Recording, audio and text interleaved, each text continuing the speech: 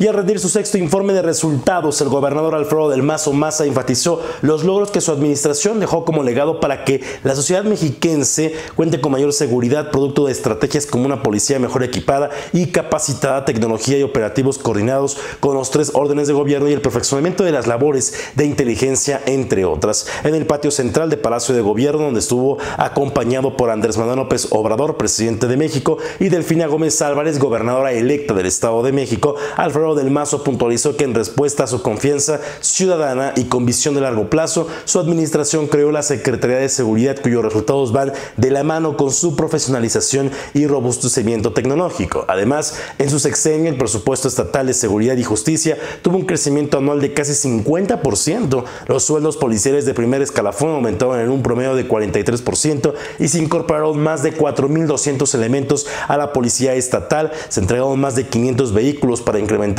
en 20% el parque vehicular de esta secretaría. Durante su mandato, Alfredo del Mazo Maza resaltó la creación de la Universidad Mexiquense de Seguridad, que ha capacitado a más de 60 mil elementos de la Secretaría de Seguridad, de la Fiscalía General de Justicia del Estado de México y de las policías municipales, así como la creación de la Policía Cibernética, la mejora de infraestructura de seguridad para extender la cobertura del C5, en la que fue duplicada la cantidad de cámaras de videovigilancia para llegar a 20 mil, además del equipamiento de 57 centros de mando municipal, la habilitación de 85 arcos carreteros, el despliegue de 100 drones, 60 tipo hangar y 40 tácticos en municipios de atención prioritaria y que han realizado casi 10.000 vuelos de reconocimiento, acompañado por exgobernadores mexiquenses, legisladores, magistrados, líderes religiosos, integrantes de pueblos originarios del estado, empresarios, alcaldes, deportistas y otras personalidades. El mandatario estatal acentuó y reconoció el trabajo coordinado con el gobierno de la Ciudad de México para resolver la inseguridad en zonas limítrofes.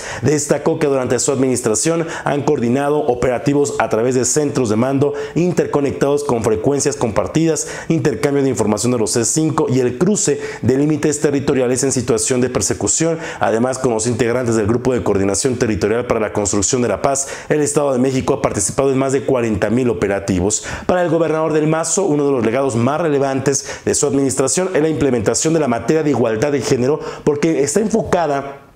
en atender a la raíz de las causas de la violencia, en prevenir y erradicar la discriminación hacia mujeres mediante una cultura de respeto, igualdad y no violencia a través de la educación. Tras reconocer el trabajo y la contribución del Poder Judicial para ofrecer más seguridad, Alfredo del Mazo enfatizó la obtención de más de 7.000 detenciones y más de 3.000 sentencias junto con la Fiscalía General de Justicia, en tanto que el juzgado de niña especializado en violencia familiar, primero en su tipo a nivel nacional, resolvió sentencias en menos de cuatro horas, permitiendo alejar a los agresores del núcleo familiar. Fue parte pues de ahí de los mensajes que dio hoy el gobernador del estado en lo que fue su sexto y último informe de resultados y donde se contó con la presencia del presidente de México, Andrés Manuel López Obrador.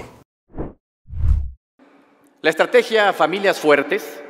ofreció a cada familia en condiciones de vulnerabilidad las condiciones que necesita para mejorar su calidad de vida, entregando apoyos a más de 7 millones de beneficiarios únicos de los cuales 7 de cada 10 son mujeres. 700 mil mujeres de los 125 municipios han mejorado su calidad de vida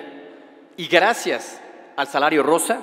han incrementado hasta en un 34% su ingreso mensual familiar. Cuatro de cada diez beneficiarias lo utilizan para la compra de alimentos. Cuatro de cada diez lo invierten en salud y educación y dos de cada diez lo destinan a servicios del hogar. A seis años de su creación, el salario rosa es la política social más importante de mi gobierno y uno de los legados más importantes de mi administración.